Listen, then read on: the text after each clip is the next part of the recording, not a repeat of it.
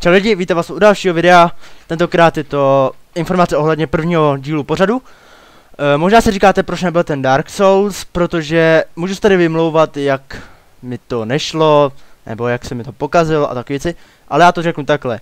Jenom se mi to sekalo a tohle prostě nešlo se na to koukat.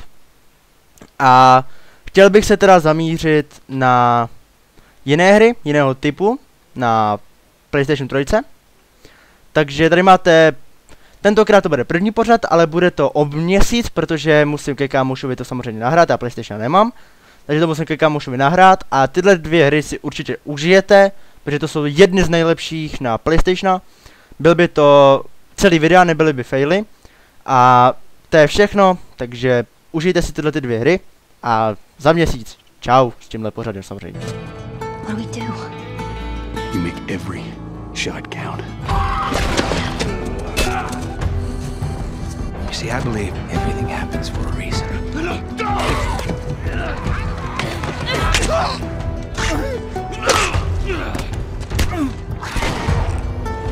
We don't have to do this.